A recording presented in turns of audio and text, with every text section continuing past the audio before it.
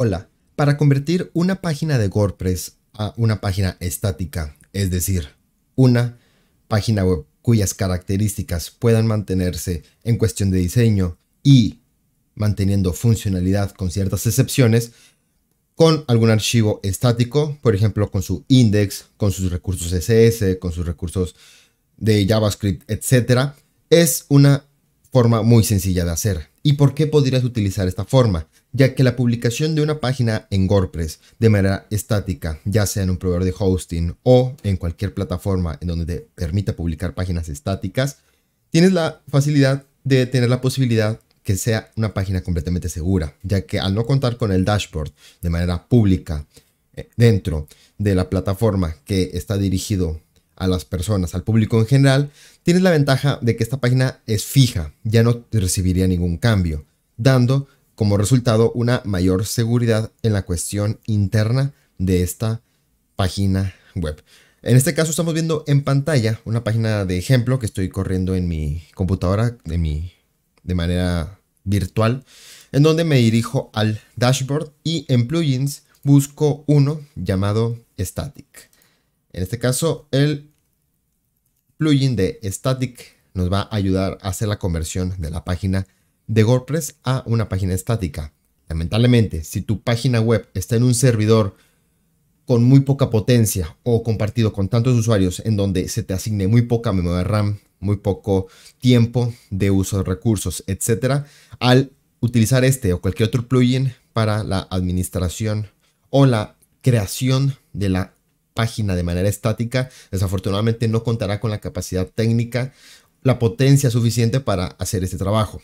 Dentro del plugin, en ajustes, podemos ver ciertos elementos como en build, en donde si tú quieres ver la página internamente en tu computadora, solamente para uso personal, aunque también este puede funcionar para publicación, puedes dejarlo como offline. Pero yo te recomiendo mucho, si va a publicarse dentro de un dominio, de un subdominio o directamente de una dirección IP al Internet, puedes poner directamente aquí la dirección de preferencia con HTTPS.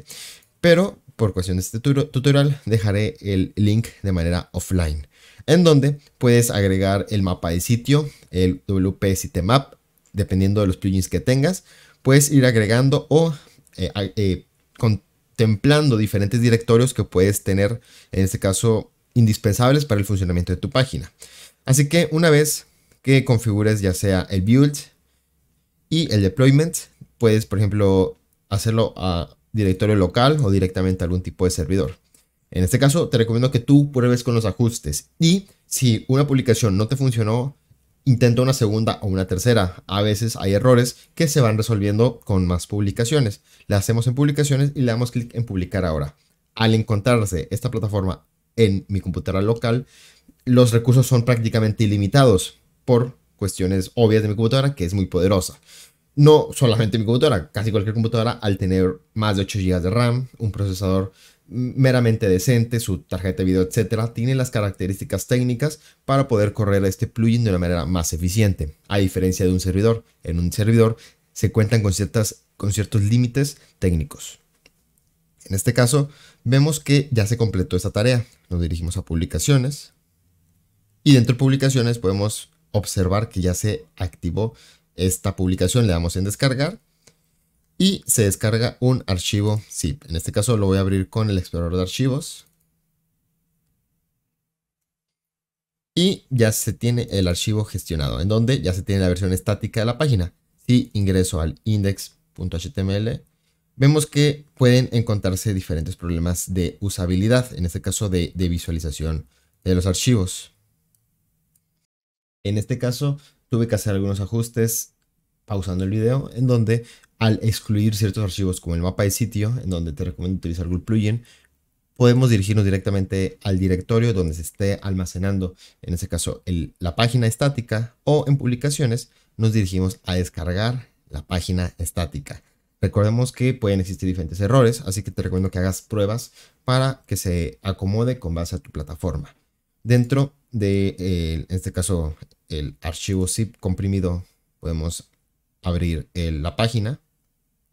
En este caso, dentro del directorio donde se está almacenando la publicación de esta página, podemos hacer clic sobre el archivo index y se despliega la página con sus correspondientes botones, etc. Así que espero que este video te haya interesado. Recuerda que muy posiblemente tengas errores al implementar este plugin. Haz las pruebas, correcciones que sean necesarias para el correcto funcionamiento. Espero que te haya gustado este video. Adiós.